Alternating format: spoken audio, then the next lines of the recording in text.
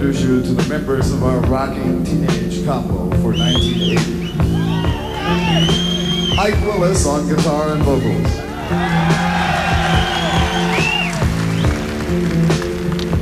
Tommy Mars on keyboards. David Logeman on drums. Arthur Barrow on bass. White on guitar and vocals.